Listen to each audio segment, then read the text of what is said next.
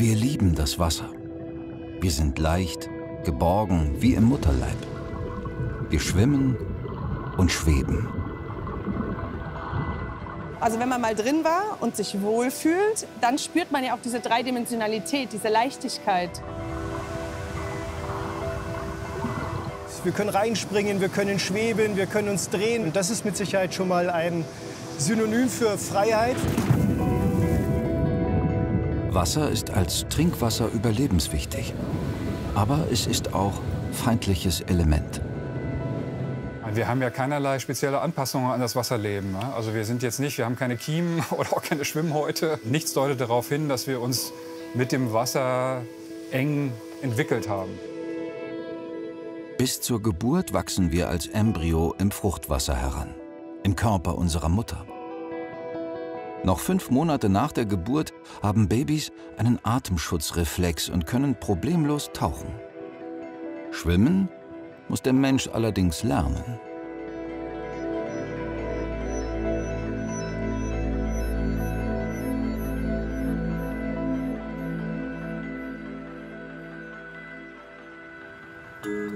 Die Sporthochschule in Köln. Ein Leistungszentrum, das auch Kindern zum Schwimmenlernen offen steht. Hier suchen Forschende nach Methoden, wie man die Schwimmkompetenz von Kindern erkennen und beurteilen kann. Das Ziel der Gruppe, um Sportwissenschaftlerin Ilka Staub, die Lernmethoden den tatsächlichen Fähigkeiten der Kinder anzupassen. Der Beginn der pädagogischen Forschung im Wasser. Die Kleinen beim Spielen beobachten. Das Spielen ist einfach so wundervoll, weil die Kinder sich selber nicht über, aber auch selten unterfordern. Ja, und es häufig auch mit diesem freudvollen Aspekt, äh, dass, dass äh, sich auch viel, viel mehr trauen, sich selbst herausfordern und herausfordern. Wir wissen einfach, dass Kinder vor allem im Vor- und Grundschulalter noch übers Spiel unfassbar viel lernen können. Vertrauen in die physikalischen Eigenschaften des Wassers aufbauen. Toter Mann spielen ist dafür wie gemacht. Und wesentlicher Teil des Kurses.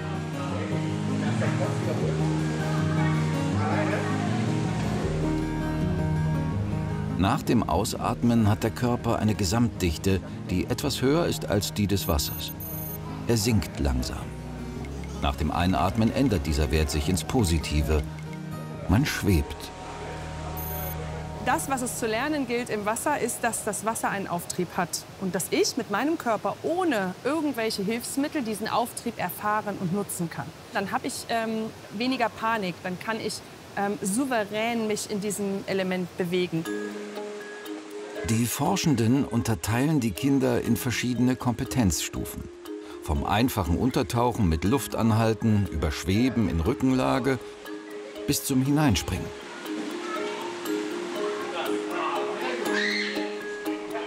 Diese Kategorien ergeben einen Katalog, mit dem praktisch alle, die Schwimmen lehren, beurteilen können, auf welchem Niveau sich Kinder befinden. Auch unter Wasser bewegen sich viele Kinder schon nach kurzer Zeit mit geöffneten Augen, mit Vertrauen in den Auftrieb ihres Körpers. Äh, man ist sich einig. Es gibt niemanden, der dagegen redet. Das Schwimmen beginnt unter Wasser. Und das ist häufig das Erste, was verletzt wird, weil man dann irgendwie häufig ist die Argumentationslinie dann, ja, das mit dem Tauchen ist so schwer, das machen die nicht. Ich mache jetzt erstmal den Brustbeinschlag oder den Kraulbeinschlag oder so. Das ist leider, man muss sagen, fachlich gesehen falsch, ja. Diese Kinder sind Mitglieder im Schwimmverein der Uni und kommen teils über viele Monate hierher. Viele Eltern erwarten jedoch, dass ihre Kinder möglichst schnell schwimmen lernen. Im Prozess des Schwimmenlernens wäre es ganz schwierig, wenn wir da äh, irgendwie sagen, Druck aufbauen und sagen, nach fünf Stunden müssen die schwimmen können. Weil es geht ja darum, Vertrauen zu finden, es geht darum, ein neues Bewegungsfeld sich zu erschließen, zu entdecken. Ähm, und das braucht einfach unterschiedlich lange.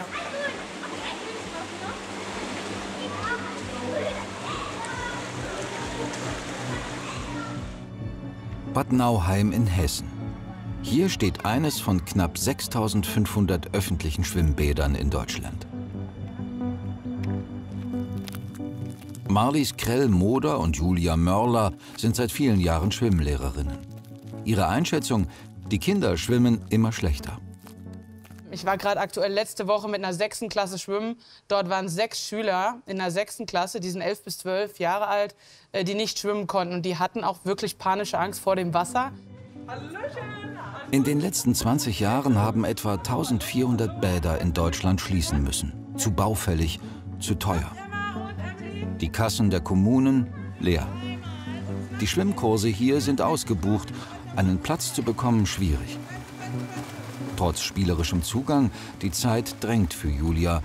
Die Kurse gehen über insgesamt 15 Einheiten, jeweils 60 Minuten. Dann kommen schon die nächsten Kinder mit ungeduldigen Eltern.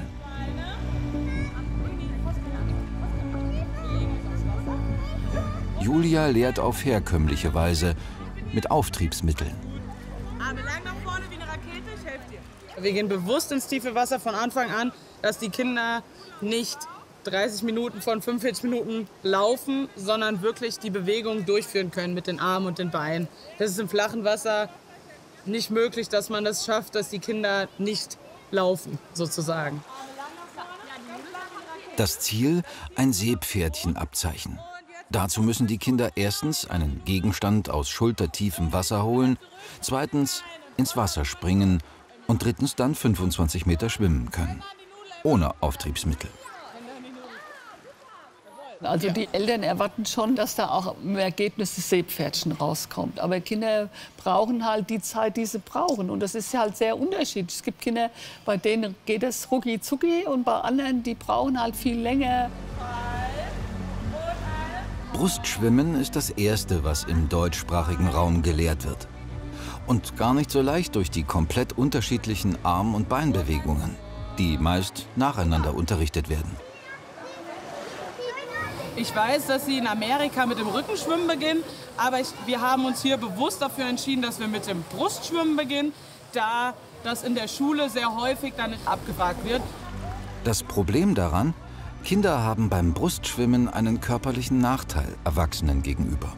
Den Kopf oben zu halten, ist für sie aus anatomischen Gründen nicht so einfach. Wichtig zu wissen ist an dem Zusammenhang auch, ähm, das trifft für Erwachsene zu, weil das Kopf-Körper-Verhältnis bei Erwachsenen ist ungefähr 1 zu 8. Bei Kindern im Vorschulalter ist es so 1 zu 5, Grundschulalter 1 zu 6, das, je nachdem, wie der Entwicklungsstand ist.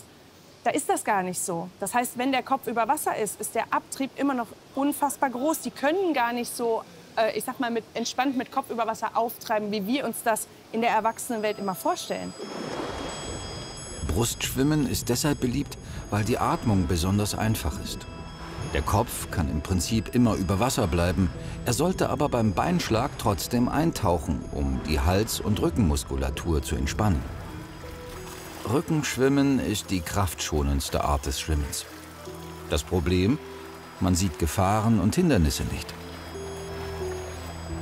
Delfinschwimmen wurde erst in den 1930er Jahren entwickelt und ist der am schwierigsten zu erlernende Stil. Kraulen ist die schnellste Technik. Hier muss man vor allem lernen, in der Seitenlage zu atmen.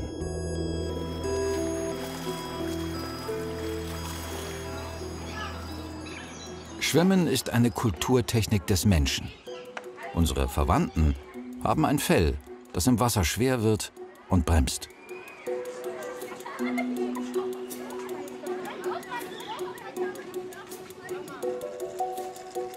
Alexander Sliwa ist Biologe und beobachtete Primaten in vielen Teilen der Welt. So gut wie allen ist eines gemeinsam. Also die Menschenaffen lieben das Wasser nicht. Sie brauchen es natürlich auch zum Trinken, ähm, aber sonst ins Wasser hineinwarten äh, maximal, aber schwimmen auf keinen Fall, weil Menschenaffen eben natürlicherweise wie wir Menschen auch nicht schwimmen können von Anfang an. Das müssten sie erlernen, aber wer bringt es ihnen bei? Ins Wasser zu gehen braucht einen Anreiz. Alexander Sliwa und der Tierpfleger versuchen es mit frischen Brötchen, einem seltenen Leckerbissen. Wir haben hier 54 Paviane und wir haben immer nur ein oder zwei Tiere, die dann tatsächlich das auf sich nehmen, ins Wasser zu warten. Es ist außen noch kalt, ja? noch im Frühjahr. Und ähm, ja, generell ist es ein ungutes Gefühl, im Wasser zu sein für Primaten. Ist dieser Pavian eines der besonderen Tiere? Er wägt wohl ab, was ihm wichtiger ist. Die Beute im Wasser oder die Sicherheit des gemeinsamen Felsens. Es ist evolutionär ganz tief verwurzelt und hat sich natürlich auch äh, durchgesetzt. Die Tiere, die vorsichtig sind und das Wasser meiden, also höchstens zum Trinken natürlich, was lebenswichtig ist, ähm, das Wasser möglichst meiden, weil da die Gefahr lauert. Ich glaube, jetzt geht er gleich. Jetzt. Das Männchen beschließt, es zu riskieren und muss dafür aufrecht gehen. Auf zwei Beinen.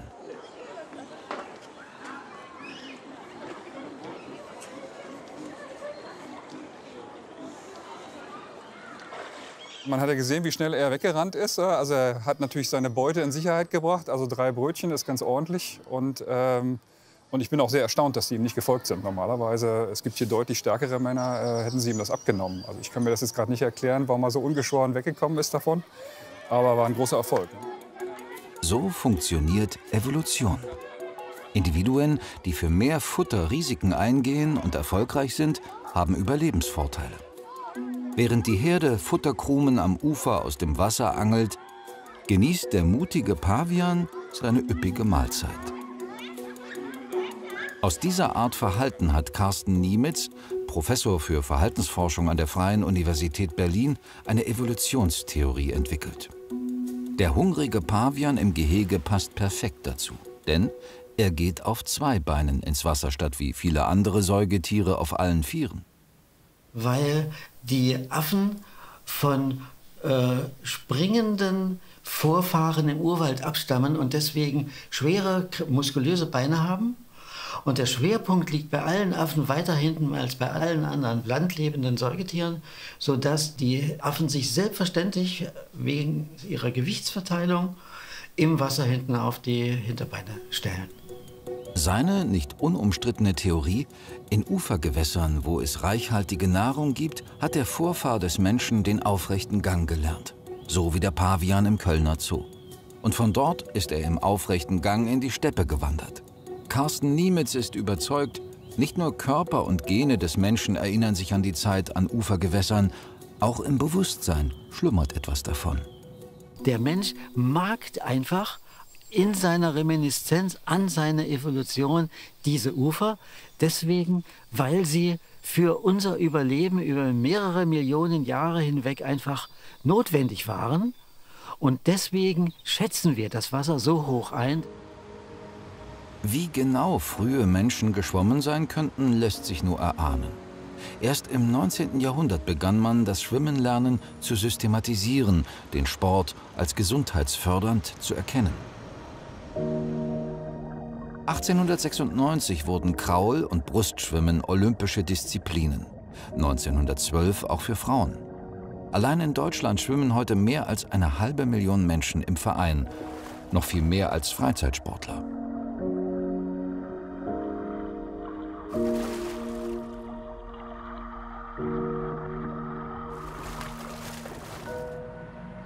Eine Trainingsanlage im Süden Teneriffas. Hier trainieren Olympiateams vieler Länder, aber auch ambitionierte Laien, wie diese Gruppe aus Deutschland und der Schweiz.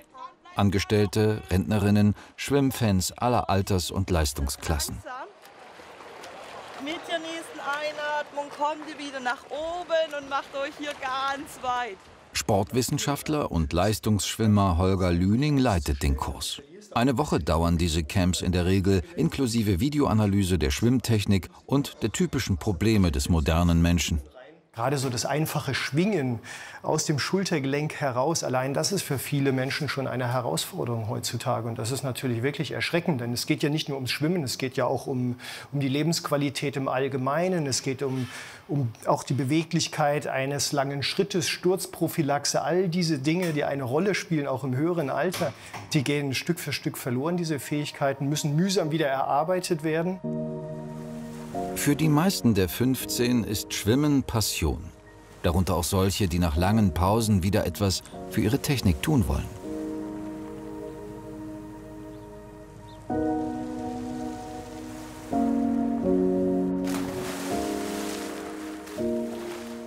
Ich schwimme extrem gerne und mir geht es vor allem darum, noch lange viel Sport treiben zu können.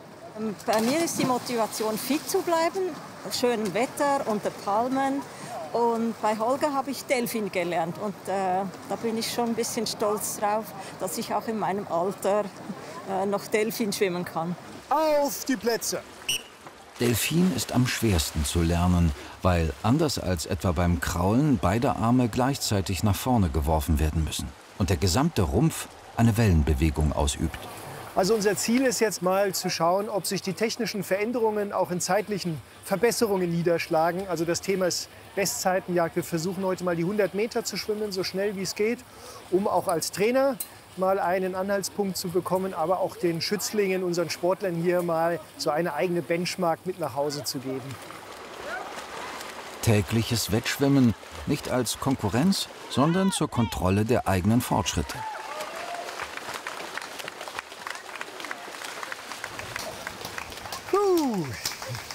Weiter mit einer 1,12,2.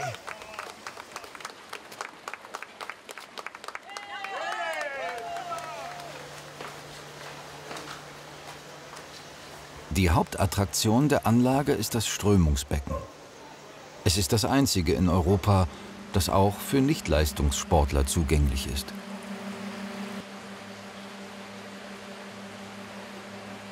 Zu Beginn eines Kurses analysiert Holger Lüning die Technik. Wie bei diesem eher durchschnittlichen Schwimmer.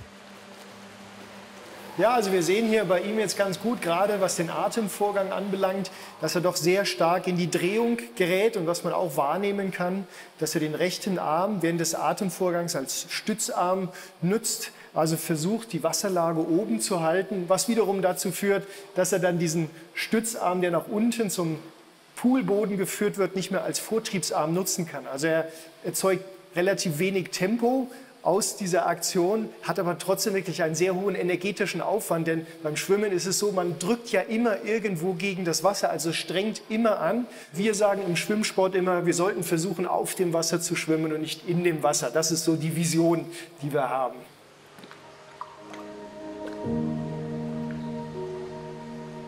Wie Kraulen in Perfektion aussieht, zeigt Co-Trainerin Isabel Donath. Physikalisch geht es beim Schwimmen um eine optimale Kombination von Vortriebskraft und Auftrieb. Die Formel dazu ist kompliziert. Sie bildet ab, dass die richtige Lage des Körpers im Wasser zentral ist. Der natürliche Auftrieb und der durch Technik optimierte Vortrieb machen einen effektiven Schwimmstil aus. Dabei leisten die Arme fast zwei Drittel der Vortriebskraft, die Beine ein Drittel. Sie tragen vor allem zur optimalen Lage im Wasser bei. Ja, also wir sehen das Ergebnis jahrelanger Trainingsarbeit. Wir haben eine deutlich höhere Wasserlage gesehen, deswegen auch deutlich weniger Wasserwiderstand. Wir haben gesehen, dass die Antriebshebel, Hand und Unterarm in einem viel besseren Winkel auch stehen und somit die Kraft, die ins Wasser gebracht wird, auch viel besser in Vortrieb umgesetzt werden können, sodass also ein Impuls von vorne nach hinten gerichtet ist. 25, 25, zurückkommen. Alle bereit? Schwimmen hat etwas von einem meditativen Sport. Interaktionen sind begrenzt, die Sinneseindrücke auf das Wasser beschränkt. Das Körpererlebnis ist wesentlich intensiver als etwa beim Joggen. Man weiß ja auch aus Studien, dass allein schon durch die bessere Sauerstoffversorgung des Gehirns einfach auch die, das Gehirn besser arbeitet. Und also ich kenne viele Sportler, die sagen, ich bin mit einem Problem ins Wasser ge gegangen und bin ohne ein Problem wieder rausgekommen. Glücksgefühle beim Schwimmen, global gesehen sind sie ein Privileg der Reichen. Drei Viertel der Menschen aus ärmeren Regionen können nicht oder nur schlecht schwimmen. Nur ein Drittel kann sicher schwimmen. In reichen Ländern ist das Verhältnis genau umgekehrt. Sumaya al-Hassan kommt aus Syrien. Dort können weniger als 30 Prozent aller Frauen schwimmen. Auch sie hatte als Kind weder Zugang zu einem sauberen See, geschweige denn zu einem Schwimmbad.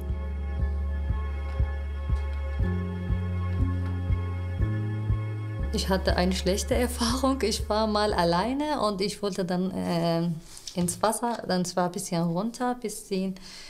Äh, und deswegen, ich hatte, seit damals hatte ich richtig Angst vor dem Wasser gehabt. Und äh, ich konnte nicht so äh, immer denken, dass ich wieder schwimmen können oder lernen. Am Abend in Bad Nauheim. Marlies Krell-Moder wartet auf ihren Anfängerkurs. Hallo. Hallo. schönen guten Abend. Ich bin die Marlies. Ich bin Nasir. Hallo, schönen guten Abend, schön, dass ihr da seid. Habt ihr denn auch schon Erfahrung im Wasser? Wart ihr schon mal hier im Schwimmbad? Kennt ihr euch da aus? Beide Frauen haben ganz unterschiedliche Motivationen, als Erwachsene noch schwimmen zu lernen. Ich habe drei Kinder und das ist ja schön, wenn ich mit meinen Kindern ins Schwimmbad gehe und dann, dass ich mitschwimmen kann. Äh, und ich möchte meinen Körper bewegen. Äh, deshalb äh, komme ich hier. Äh, ich möchte gesund bleiben und Schwimmen ist ein guter Sport für Gesundheit. Marlies arbeitet seit den 1970er Jahren ehrenamtlich. Sie unterrichtet inzwischen schon die Enkel ihrer ersten Schülerinnen.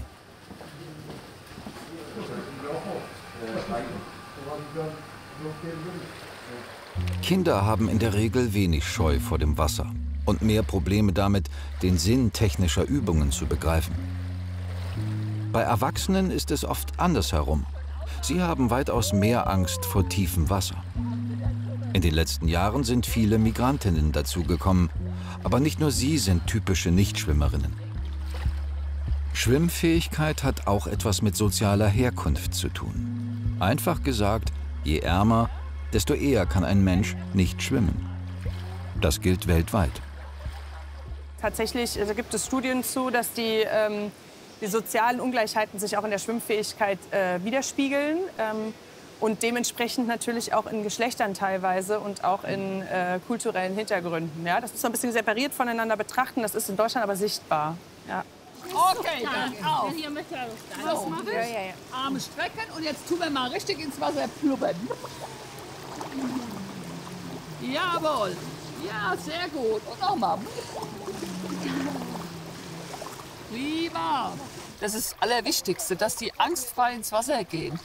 Ja, und weil die Technik, die kommt dann. Das ist dann einfach nur noch eine Frage der Zeit, dass die Kondition klingt, dass sie die Technik hinkriegen. Aber dass sie erstmal das Grundvertrauen haben, das Wasser trägt mich. Ja, ich brauche keine Angst haben. Ist bei Kindern wie Erwachsenen das Gleiche. Für viele Teilnehmerinnen ist es noch mehr als Vertrauensgewinn. Ja, ich habe gerade jetzt auch gesagt, man fühlt sich immer so frei. Ne? So richtig eine schöne Gefühl. Die erste Unterrichtseinheit ist vorüber. Insgesamt zehn Stunden wird der Kurs dauern. Ich hoffe, es hat euch Spaß gemacht. Ja. ja. Prima, das freut mich, weil das ist nämlich was ganz Tolles, schwimmen zu können. Genau. Und dann machen wir nächsten Donnerstag weiter. Tschüss. In fünf Wochen soll es soweit sein. Dann haben diese Frauen die Kulturtechnik des Schwimmens erlernt.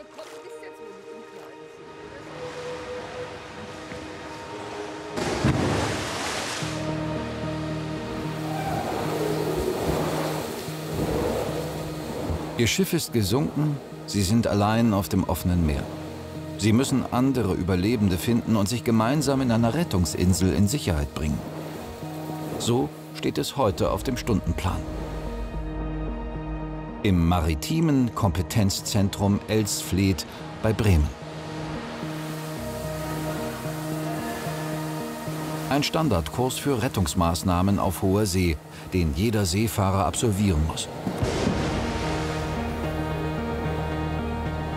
Sie simulieren einen Notfallsprung von Bord eines schiffbrüchigen Frachters, müssen dann gemeinsam eine Rettungsinsel erreichen und werden auf einen simulierten Hubschrauber hochgezogen. Länger als ein paar Minuten darf das nicht dauern. Auf hoher See, im kalten Wasser, ist jede Minute kritisch.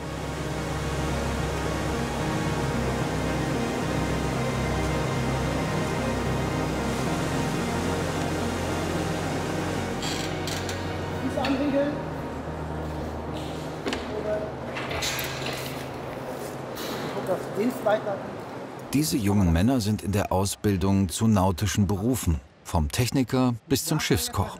Jetzt geht es um das korrekte Anlegen des Rettungsgeschirrs. Dann legt ihr euch die Schlinge an, die Schlinge schwimmt, die schwimmt dann auf, ihr schwimmt dementsprechend rein, geht hier durch diese Lasche durch, hakt den hier auch oben wieder ein, möglichst hoch, weil sonst ist das ein bisschen unangenehm, möglichst hoch unter den Achseln, festziehen und dann einmal das Signal geben zum Hieven. Ich ziehe euch dann dementsprechend hoch, schwenke euch ein und dann legt ihr oben ab und dann geht ihr bitte rückwärts die Leiter wieder runter. Der Überlebensanzug ist aus Neopren. Im Notfall müssen die Männer ihn innerhalb von höchstens zwei Minuten anlegen. Ohne würde die Kerntemperatur des Körpers in wenigen Minuten auf bedrohliche 35 Grad und weniger abfallen. Wichtig ist vielleicht auch die Eigenschaft, dass die Körperkerntemperatur innerhalb von sechs Stunden bei 0 bis 2 Grad kaltem Wasser nicht mehr um 2 Grad abfallen kann. Das ist eigentlich die Haupt, sage ich mal, der Hauptgrund. Weil in der Regel haben wir ja nicht so wie hier Freibadtemperaturen über 20 Grad. Es gibt ja auch Regionen, wo das Wasser, sag ich mal, so um die 0 Grad hat. Da sind die Überlegungschancen relativ gering. Im Jahr 2020 gab es weltweit 50 sogenannte Totalverluste. Untergänge von Schiffen mit Mann und Maus.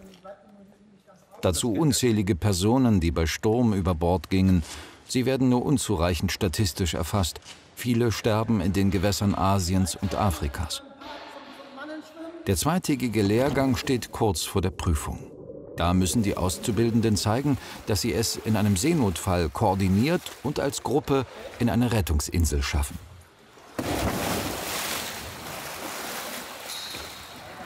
Das geht noch. Ziehen richtig rauf. So, deine Füße noch. Hier nimm mal seine Füße da unter deine Arme. Ja, probier's mal. Jedes Jahr ertrinken weltweit etwa 200.000 Menschen. Man unterscheidet zwei Arten des Ertrinkens. Beide beginnen damit, dass sich bei Wassereintritt in die Luftröhre die Stimmritze verkrampft und verschließt. Hält der Verschluss an, bis der Mensch an Luftmangel stirbt, spricht man von trockenem Ertrinken. Ist der Atemreflex stärker und öffnet die Stimmritze mit Gewalt, dringt Wasser in die Lunge ein und zerstört die Lungenbläschen. Dies alles gehört zu den realen Gefahren nautischer Berufe. Manchen wird das erst hier, im Schwimmbecken, richtig bewusst.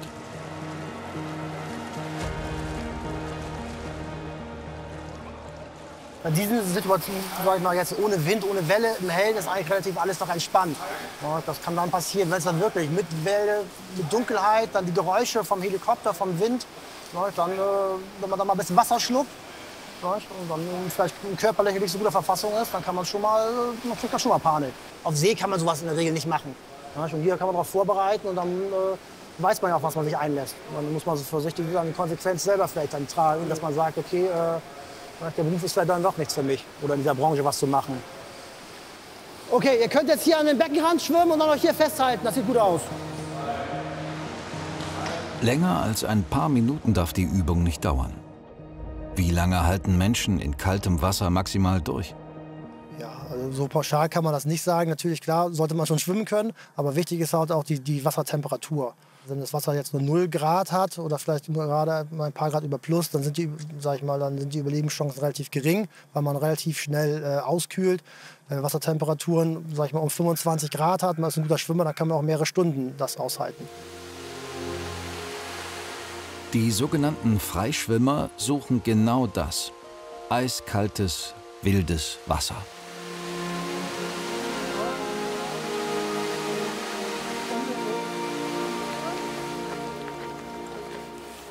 Hans-Jörg Ransmayr hat Bücher über das Freischwimmen oder Wild Swimming geschrieben.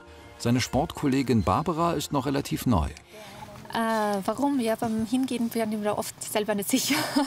beim Zurückgehen weiß es dann wieder. Also es ist einfach äh, so weit aus der Komfortzone heraus und da wird es dann einfach richtig schön und aufregend. Also das ist einfach ein Hormoncocktail, der da äh, in Gange kommt. Das ist einfach unbeschreiblich. Du hast am Anfang Ertrinkensangst. Das geht fast jedem noch so, auch nach zehn Jahren. Und das Schöne ist, wie der Körper sich dann adaptiert, wie du dann locker wirst, wie du merkst, ha, du, aus diesem Überlebenskampf wird dann ein genussvolles Schwimmen. Und das ist für mich das Schöne.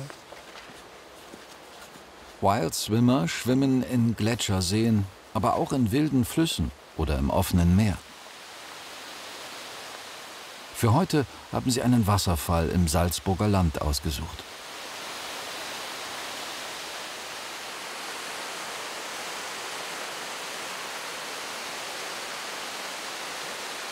Hans-Jörg ist erfahrener Freischwimmer und erklärt die Grundsätze. Am Anfang sollte man nicht allein schwimmen, das ist eigentlich das Wichtigste. Also wenn man einen Guide hat, ist das natürlich sehr viel besser. Und was ganz verkehrt wäre, wäre zuletzt bei 28 Grad Wassertemperatur und 35 Grad Außentemperatur zu schwimmen und dann gleich ins kalte Wasser zu hüpfen. In der freien Natur ist eine Rettungsboje für Ungeübte Pflicht. Und eine Badekappe, denn der Körper verliert am Kopf extrem schnell Wärme. Das Wichtigste? Selbstkontrolle.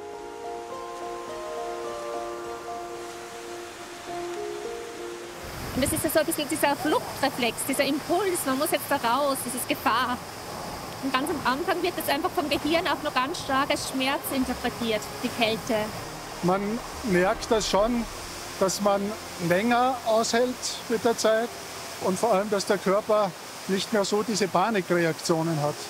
Und das Schöne ist eben dann das Umschalten von Panikmode auf Genießen, wenngleich das Genießen relativ kurz ist. In der Regel eine Minute lang müssen Untrainierte diese Panikreaktion aushalten. Danach sind sie höchstens zehn Minuten schwimmfähig. Eine Stunde bleibt ein Mensch in 5 Grad kaltem Wasser maximal bei Bewusstsein. Nach wenigen Minuten kommen sie aus dem Wasser. Mehr als erfrischt.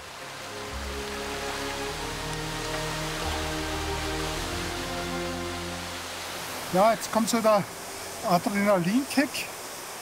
Und jetzt ist es noch angenehm, aber in ein paar Minuten wird es zittrig werden. Aber jetzt ist gut, sehr gut. Also man muss sich wirklich auch gut überlegen, was zieht man an. Ich habe wirklich immer dasselbe an. Es ist ja dann auch so, dass das Gehirn, also es gibt so Kältedummheit, das Gehirn fordert wirklich runter so. Und wie lange das man drinnen bleibt, also man wird wirklich so ein bisschen ja, neblig im Kopf. Die Wirkung von extremer Kälte auf den Organismus ist vielfältig.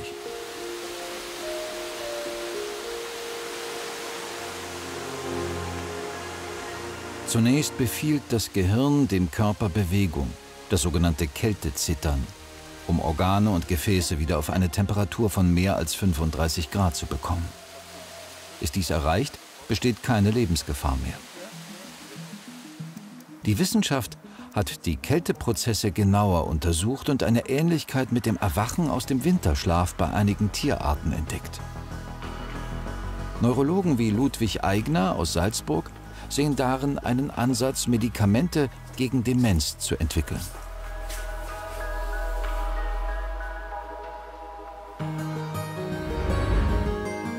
In den Gehirnen von Menschen, die im kalten Wasser schwimmen, wurde ein erhöhter Anteil eines Proteins namens RBM3 entdeckt. Bei Winterschläfern dient es dazu, das Gehirn nach langer Inaktivität zu reaktivieren. Beim Menschen könnte es helfen, beschädigte Gehirnzellen zu reparieren. Ein entsprechendes Medikament vorausgesetzt. Die Forschung dazu ist allerdings erst am Anfang. Durch die Kältetherapie in Anführungszeichen findet dieser Regulationsmechanismus statt. Das heißt, dieses RBM3 wird hochreguliert äh, und man kann jetzt eigentlich vermuten, dass äh, dadurch auch die Synapsen, Neubildung und, und die Plastizität im Gehirn gefördert wird. Interessant ist es natürlich jetzt noch herauszufinden, wie dieses RBM3, dieses Gen, dieses Eiweißmolekül tatsächlich funktioniert. Und das ist eigentlich, sagen wir aus, aus therapeutischer Sicht, denke ich, die Zukunft, dass man aufgrund dieses Wissens Medikamente, Therapien entwickeln kann, die genau äh, an diesem äh, Mechanismus eingreifen. Medizinische Therapien durch oder mit Wasser sind keine Neuigkeit, werden aber manchmal unterschätzt. Denn zu den physikalischen Eigenschaften des Wassers gehört auch, dass es den gesamten Bewegungsapparat entlastet und so immer neue Therapieformen ermöglicht. Wilhelm Kropp ist Patient einer Klinik bei Malente in Schleswig-Holstein. Er hat gerade das zweite künstliche Kniegelenk bekommen. Das A und O der Nachsorge ist Mobilität und die ist speziell bei übergewichtigen Patienten ein Problem. Das Körpergewicht ist eigentlich der hauptsächliche Risikofaktor für eine Arthrose im Kniegelenk. Der Patient? Ist übergewichtig. das heißt, die weitere Behandlung wird natürlich auch darin bestehen, abzunehmen. Das ist, ist Ziel auch der Rehabilitation. Es ist mein Ziel, dass ich abnehme. Ja.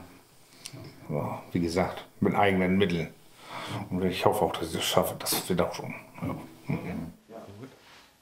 Doch das Idealgewicht zu erreichen, ist zumindest kurzfristig nicht ohne weiteres möglich. Also muss der Patient leichter werden, ohne abzunehmen. Und wenn Sie hier angekommen sind, gehen Sie mal rückwärts wieder zurück. Legen Sie mal den Rückwärtsgang ein. Genau. Mit den Schmerzen tut nichts weh, ne? Alles gut. Und die Knie genauso schön hochnehmen wie eben, wie vorwärts. Eine halbe Stunde dauert die Therapiesitzung. So viel Ausdauer ist nur im Wasser möglich. Im Wasser ist es natürlich unterstützend von diesem Auftrieb natürlich ganz anders, als wenn man das draußen macht. Dann hat man nicht so diese Unterstützung vom Wasser. Ich glaube nicht, dass er das an Land konnte. Vielleicht könnte er es im Stehen einmal, ne? Aber vorwärts gehen und bei jedem Schritt die Hände unter das Knie zu nehmen, ich glaube, dafür wäre das Bein noch zu schwer. Prinzipiell ist die Bewegungstherapie im Wasser in der Rehabilitation eigentlich der zentrale Baustein überhaupt. Wir nutzen halt die physikalischen Effekte des Wassers aus. Das heißt, wir haben einmal den Auftrieb, wahrscheinlich der Haupteffekt. Der Körper ist etwa 90 Prozent leichter im Wasser. Das heißt, die Leute, die sonst Gehstöcke benutzen müssen oder gar nicht belasten dürfen, die können sich frei bewegen. Ganz normale Bewegungsmuster lernen, die sie sonst nicht mehr einhalten können. Kriegen Sie noch mal hier so eine kleine Auftriebsscheibe von mir. Die nehmen Sie mal hinter den Rücken. Jetzt gehen Sie mal weiter vorwärts auf den Zehenspitzen und versuchen mal die Fersen jetzt hinten hochzuziehen. Viele kommen auch hier an ihre Grenzen. Aber die haben mehr mit dem Wasser zu tun als mit den Übungen. Ja, es gibt viele Menschen, die es nicht gelernt haben in der Kindheit, ne? Oder mal so ein Ertrinkungsereignis äh, hatten und dann sich nie getraut haben, wieder ins Wasser zu gehen und es nie gelernt haben. Die klammern sich dann eher an der Stange fest oder mögen irgendwelche Übungen nicht machen. Aber es geht ja einfach darum, eher da drin zu sein im Wasser und sich zu bewegen. Sind Sie eher so ein Wassertyp oder Wasserscheu? Nee, ich bin ein Wassertyp. Ich sag gerade, ich hätte auch ein Delfin werden können. Ja. Nee, ich bin eigentlich am Wasser auch groß geworden. Am Ende der Trainingswoche im Schwimmcamp auf Teneriffa. Der Kurs von Holger Lüning verlässt das angestammte Becken und macht sich auf den Weg zum Meer. Es soll drei Kilometer um eine Felsspitze herumgehen, durch offenes, bis zu zehn Meter tiefes Wasser. Fast alle sind im Schwimmen extrem geübt, aber dennoch ist die Anspannung spürbar. Das offene Meer, Wasser plus Wind und Strömungen. Ich glaube, der ganz interessante Aspekt ist auch einmal das Fortbewegen. Nicht einfach nur hin und her schwimmen, sondern mal einen anderen Ort zu erreichen schwimmerisch. Das ist auch der große Reiz. Es geht erst ungefähr 100 Meter aufs Meer hinaus, um eine Ferienanlage herum zum nächsten Strand. Als Orientierungspunkte dienen Felsen oder besonders markante Gebäude. Im Freiwasser suchen wir uns immer Orientierungspunkte. Und zwar Orientierungspunkte, die man ganz sicher überall erkennen kann. Was wäre hier so ein Orientierungspunkt, wo man von hier sagen könnte, da können wir drauf zuschwimmen? Jetzt. Okay, ja, legen wir mal los. Los geht's.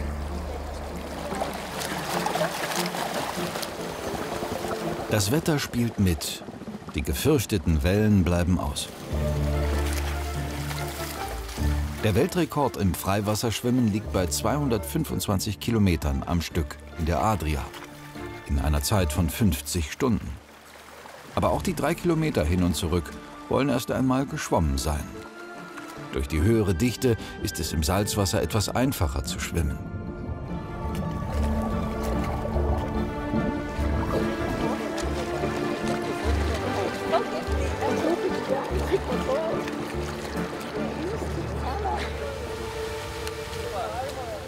Also es ist natürlich viel mehr Bewegung drin, die Temperatur ist anders. Also es ist äh, vieles anders, muss man sagen. Aber das ist ja genau der Reiz auch ja, für viele. Glücksgefühle pur, kann ich nur sagen. Ja, Ja. absoluter Hammer. Ja. Auch mit der Gruppe, ähm, nie eine Spur von Angst. Also Ja, es war wirklich wunderschön. Ich, ha- ähm, Isa hat gesagt, dass wir haben einen wunderschönen Tag äh, rausgesucht und das, äh, das Meer war wunderschön blau.